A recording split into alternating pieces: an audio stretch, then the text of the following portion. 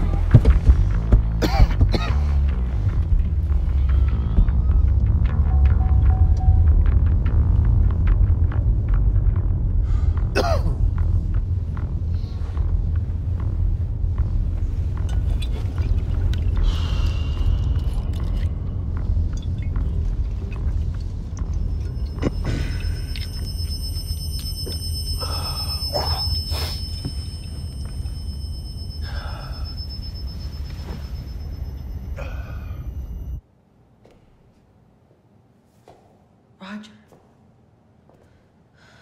You're a wonderful man, yes, and you're you're a great lawyer. We're just not meant to be together.